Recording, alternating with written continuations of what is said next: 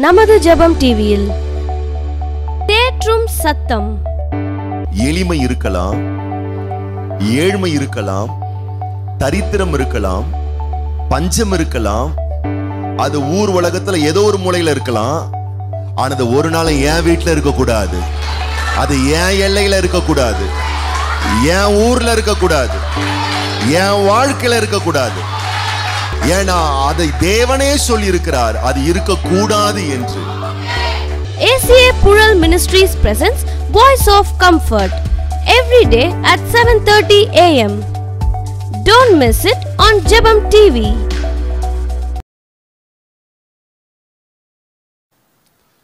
உபாகமத்தின் புஸ்தகம் பதினைந்தாம் அதிகாரம் நான்காம் வசனத்தை வாசிக்க கேட்போம் எளியவன் உனக்குள் இல்லாதிருக்கும்படியாக இப்படி செய்ய வேண்டும் என்று நான் உனக்கு கற்பிக்கிற எல்லா கற்பனைகளின்படியும் நீ செய்யும்படி உன் தேவனாகிய கத்தரின் சத்தத்தை கவனமாய் கேட்பாயானால்.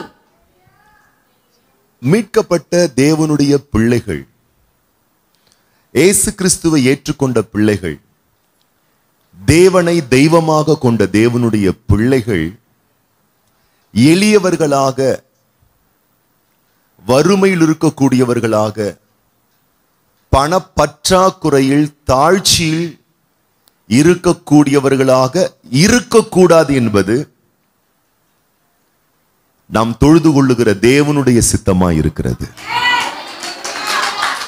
எளியவர்கள் வருத்தத்தில் விசேஷமாக பொருளாதார நிலையில் பஞ்சத்தில் பசியில் பட்டினியில் வறட்சியில் கடன் வாங்கி பிழைப்பு நடத்தக்கூடிய அளவுக்கு ஒரு பொருளாதார தாழ்ச்சியில் ஒரு தேவ பிள்ளைகள் இருப்பது அது தேவ நோக்கம் அல்ல. அது தேவ சித்தமே கிடையாது. ஆகவேதான் கர்த்தர் அழகான பிரமாணங்களை நியமித்து மோசையின் மூலமாக இஸ்ரேல் மக்களுக்கு அவர் அருளிய பிரதான கட்டளை என்னவென்றால் என்னை தொழுது கொள்ளுகிற பிள்ளைகளில் ஒருத்தர் கூட எளியவர்களாக இருக்கக்கூடாது எளியவன் உனக்குள்ளே இல்லாதிருக்கும்படி சில வேலையெல்லாம் பண்ணு வேலையெல்லாம் பார்க்கணும் வேலையெல்லாம் செய்யணும்னு கர்த்தர் சொல்லி கொடுத்துருக்காரு பாருங்க. ஆகவே தான் இங்க பிரசங்கம் பண்ணிக்கிட்டு இருக்கோம். அலையிலோயா சொல்லுங்க பார்க்கலாம். எளிமை இருக்கலாம்.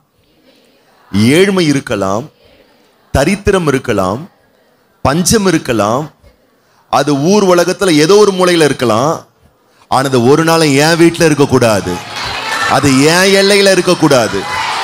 என் ஊரில் இருக்கக்கூடாது. என் வாழ்க்கையில இருக்கக்கூடாது. ஏன்னா அதை தேவனே சொல்லி இருக்கிறார் அது இருக்கக்கூடாது என்று.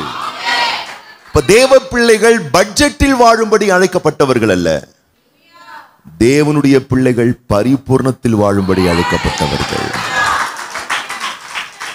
அலையிலூயா சம்பூர்ணத்தில் வாழும்படி அழைக்கப்பட்டவர்கள். அப்ப பரிபூர்ணத்தில் வாழணும்னா செல்வம் இருக்கணும். இருந்தா தானே வாழ முடியும்?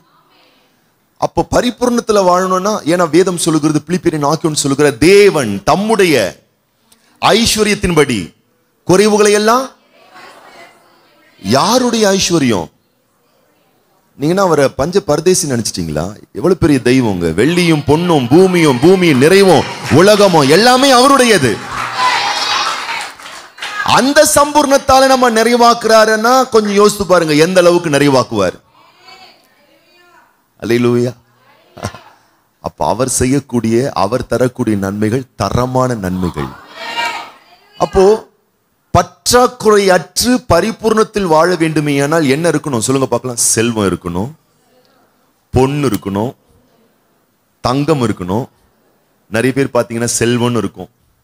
தங்கம்னு இருக்கும். பொண்ணுன்னு இருக்கும். ஆனால் அங்கே தங்கமும் இருக்காது செல்வமும் இருக்காது. பொண்ணு அதை பற்றி சொல்லலை. உண்மையான செல்வம் இருக்கணும் ஐஸ்வர்யம் இருக்கணும் பொண்ணு இருக்கணும்னா முதல்ல பணம் இருக்கணும். எத்தனை பேர் ஆமின்னு சொல்றீங்க? என்ன இருக்கணும்? பணம் இருக்கணும். ஆனா மீட்கப்பட்ட தேவ பிள்ளைகளுக்குள்ளாக அதிகமாய் போதிக்கப்பட்டது. நான் பாருங்க சின்ன வயசுல இருந்து சர்ச்சுக்கு போற ஒரு ஆளு. நான் சபைகளில் அதிகமாய் கேட்கப்பட்ட பணத்தை குறித்த ஒரு பிரசங்கம்னு ஒரு பிரசங்கம் இருக்குமே ஆனால் பண ஆசை எல்லா தீமைக்கும் வேறா இருக்கிறது. பணாசை தப்பு மோசமானது கெடுத்துரும் அழிச்சிரும். இப்படிதான் பிரசங்கம் வரும் இப்படி தான் கேட்டுட்டு ஆமேன்னு சொல்லிட்டு போவோம். வீட்டுக்கு போனால் அந்த பணம் இல்லாததுதான் எல்லா தீமைக்கும் வேறாக இருந்தது பிரசங்கம் கேட்கும்போது பணம் பணம் தீமை தீமை கொன்றோம் மோசம் அழிச்சிரும். ஆனால் வீட்டுக்கு போனால் சாப்பாடு இருக்காது. கடன் வாங்கி பிழப்பை நடத்தணும். ஒருத்தர் வருமானம் அத்தனை பேர் சாப்பிடணும். ஏழ்மை தரித்திரம் அதிகமாய் பாதிக்கப்பட்டவன்.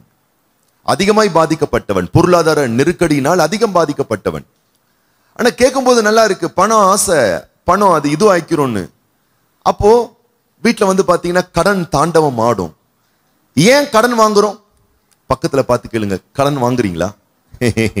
வாங்கல. ஆனால் வாங்குவோம். ஏன் வாங்குறீங்க? ஒரே ஒரே ஒரு விஷயம் தான் பணம் இல்லை கடன் வாங்குறோம். அவ்வளோதான் முடிஞ்சு போச்சு. காசு இல்லை கடன் வாங்குறோம்.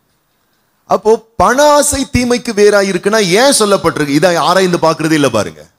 ஏன் சொல்லப்பட்டிருக்கு? எதுக்கு சொல்லப்பட்டிருக்கு? யாருக்கு சொல்லப்பட்டிருக்கு? பவுல் சொல்றாரு அதை. தீமத்தையும் ஒன்னு தீமத்தையும் ஆறுல சொல்றாரு. யாருக்கு சொல்றாரு? கெட்ட மக்கள். நீங்க ஃபுல்லா சாப்டர் போய் வாசித்து பாருங்க தெரியும் உங்களுக்கு. கெட்ட மக்கள். ஊரா முட்டு சொத்தை வீட்டில் போட்டுக்கிறவன். ஊழல் பேர் வழிங்க. பணத்தை மாத்திரமே சம்பாதிக்க வேண்டும் என்ற குறிக்கோளோடு உறவுகளை சிதைக்கிறவன். பணம் தான் பெருசு பணம் தான் கடவுள் காசே தான் கடவுள்னு சொல்லிட்டு பண பணம் பணம் பண்ணிட்டு வெறித்தனமா அழிஞ்சி எவன் கெட்டு போனா எனக்கு நான் எனக்கு பணம் வேணும். யார் அழிஞ்சானா யார் செத்தானா அப்படிலாம் மக்கள் இருக்காங்க பாருங்க. அப்படிப்பட்ட மக்களுக்கு இது எழுதி வைக்கப்பட்டிருக்கு. எது தீமைக்கு வேறுன்னு? அப்படி நாயா பேயா பணத்துக்கு பின்னாடியே ஓடி பணத்தை விட எவ்வளவு தரமான விஷயம்லாம் இருக்கு தெரியுமா வாழ்க்கையில்? அதெல்லாம் இழந்து ஆ, சீர்கெட்டு போனவர்கள் கெட்டு போனவர்கள் கெட்ட சிந்தையுள்ளவர்கள் அப்படிப்பட்ட மக்களுக்காக எழுதப்பட்டது நீ கிறிஸ்தவர்கள் அதை பிடிச்சிக்கிட்டு பண ஆசை தீமை போலன்னு சொல்லி அவங்க மனசுக்குள்ள உள்ள ஆழத்துல பணத்தை குறித்த ஏதோ ஒரு ஏதோ ஒரு அது மேல ஒரு நெருடல் இருக்கு. அதனாலதான் நீங்க பாத்தீங்கன்னா மீட்கப்பட்ட ரட்சிக்கப்பட்ட ஆவிக்குரிய கிறிஸ்தவர்கள் நிறைய பேரை நீங்க பார்த்தீங்கன்னா தான் எவ்வளவு சொகுசா இருக்குன்றதை காட்டவே மாட்டாங்க. ஆனா அந்தரங்கத்தில் நீங்கள் அவர்களுடைய சொகுசு வாழ்க்கையை பார்த்தால் மிரண்டு விடுவீர்கள். ஆனா வெளியே காட்டவே மாட்டாங்க. ஏன்னா பயம். இல்ல இப்ப இன்னைக்கு ஒரு தெளிவான ஒரு சத்தியத்தை புரிந்து நாம் தெளிவடைய வேண்டும். அது என்னவென்றால் மீட்கப்பட்ட தேவ பிள்ளைகள் கையேந்தி பிழைக்காமல் அநேகருக்கு தன் கைகளால் கடன்களை கொடுத்து அநேக ஜாதிகளுக்கு கொடுத்து தான் வளம் பெற்று அநேகரை வளமாக்கக்கூடிய ஒரு வாழ்க்கை வாழ வேணும். அந்த வாழ்க்கை நம்ம வாழணுன்றதுக்காகத்தான் நம்முடைய ரட்சகர் தரித்திர கோலத்தை எடுத்துக்கிட்டாரு. ஏன் தரித்திர கோலத்தை எடுத்தாரு? நம்ம அப்படி எடுத்தாதான் அப்படி எடுத்தாதான் என் பிள்ளைகள் ஐஸ்வர்யவான்கள் ஆவார்கள் என்ற ஒரு பிரமாணம் இருந்தால் நிலை இருந்தால் நான் தரித்திர கோலத்தை எடுக்கிறதுக்கும் பரவாயில்லன்னு சொல்லி அவர் போனார் பாருங்க. பக்கத்துல பார்த்து சொல்லுங்க அவர் தரித்திர கோலத்தை எடுக்க ஆசைப்பட்டார். எதுக்கு? நீ பணக்காரன் ஆகிறதுக்காக அப்ப நீ பணக்காரன் ஆகிறதுக்கு இன்னைக்கு உனக்கு தரமான ஒரு நம்பிக்கைகளும் விருப்பங்களும் எதிர்பார்ப்புகளும் இருக்க வேணும். ஏன்னா அது தேவனுடைய விருப்பமாக இருக்கிறது. தேவனுடைய சித்தமா இருக்கிறது. நீங்கள் வளமுள்ள ஒரு வாழ்வு வாழ்கிறீர்கள் என்று சொன்னால் அலையிலோயா மூணு மாசம் கம்பெனி மூடிட்டான் நாலு மாசம் வருமானம் இருக்காது. நாலு மாசம் இல்ல நாலு வருஷம் கம்பெனி மூடினா கூட என்னால உட்காந்து சாப்பிட முடியும். அந்த அளவுக்கு சொத்தோ சுகமோ செல்வமோ லட்சமோ கோடியோ உன்கிட்ட உன் பேர்ல இருந்துச்சுன்னா பக்கத்துல பார்த்து சொல்லு. அவர் வயிறு எறியவே மாட்டாரு. அலையிலூயா. அவர் வயிறு எறியவே மாட்டார். ஏன்னா சொல்லுங்க பார்க்கலாம். இந்த பூமியில இந்த உலகத்துல அவஸ்தைப்படுறதுக்காக நான் ரட்சிக்கப்படல. அவர் தர எல்லா நன்மையை பெற்று அனுபவிக்கிறதுக்காக நான் ரட்சிக்கப்பட்டிருக்கிறேன். நன்மைகளை அனுபவிப்பதற்காக நீங்கள் மீட்கப்பட்டிருக்கிறீர்கள். அலையிலூயா. ஆக பணத்தை குறித்த செல்வத்தை குறித்த தேவரகமான சத்தியங்களை அறிந்து கொள்ள வேண்டும் பாருங்கள். என்னைக்குமே மீட்கப்பட்ட பிள்ளைகள்.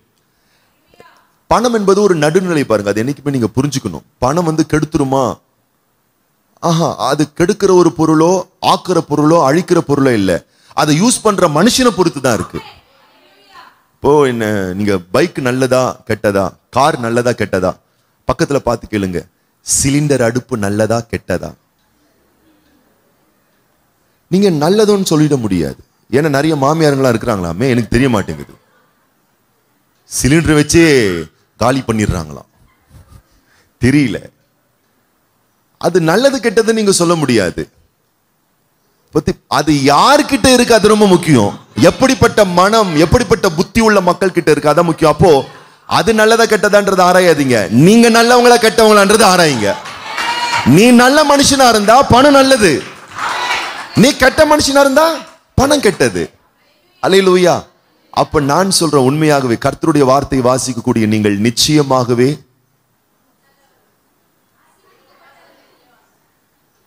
நல்ல மக்கள். சொல்லுங்க பார்க்கலாம். நான் நல்ல மக்கள் சொல்லுங்க நான் நல்லவன் சொல்லுங்க. உங்களுக்கே நம்பிக்கை வரலன்னா எப்படி மத்தவங்களுக்கு நம்பிக்கை வரும்? சொல்லுங்க பார்க்கலாம். நான் நல்லவன் இல்லதான். சொல்லுங்க சொல்லுங்க. நான் நல்லவன் இல்லதான்.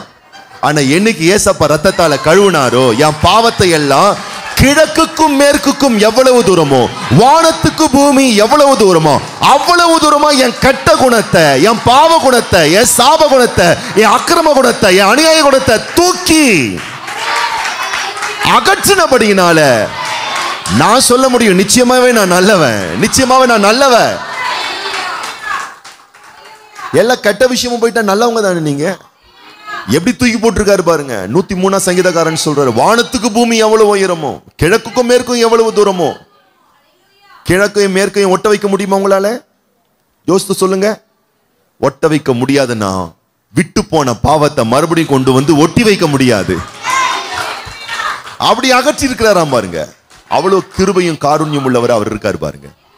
அப்போ நல்ல மக்களாகிய நீங்கள் நல்ல விதத்திலே தேவ பிள்ளைகள் அதான் சொல்றேன் நல்ல பிள்ளைகள் நல்லவர்களாகிய மீட்கப்பட்டவர்களாகிய இயேசு ரத்தத்தால் கழுவப்பட்ட பிள்ளைகளாகிய நீங்கள் இந்த பூமியில நல்ல விதத்துல உத்தமமான விதத்துல யோக்கியமான விதத்துல பரிசுத்தமான விதத்துல எல்லா நன்மைகளையும் பெற்று அனுபவிக்க அறிந்து கொள்ள வேணும்.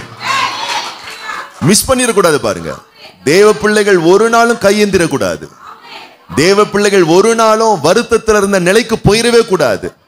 போக முடியாது. ஆனா சில கரெக்ஷன்ஸ் நம்ம லைஃப்ல நம்ம பண்ணலன்னா அது நம்மளை பாதிச்சிரும் பாருங்களேன். அதுக்காக தான் சத்தியத்தை எடுத்து நம்ம அழகா போதிக்கிறோம். சங்கீதக்காரன் சொல்லுகிறார் நான் சின்ன பிள்ளையா இருந்தேன். இப்ப பெரியவன் ஆயிட்டேன். நீதிமான் கைவிடப்பட்டதை அவன் சந்ததி அப்பத்துக்கு இறங்கி திரிந்ததை நாம் பார்க்கவே இல்லை என்றார் அப்படிப்பட்ட ஒரு ஆசீர்வாதத்தை கர்த்த தம்முடைய பிள்ளைகள் மேல வச்சிருக்காரு பாருங்க.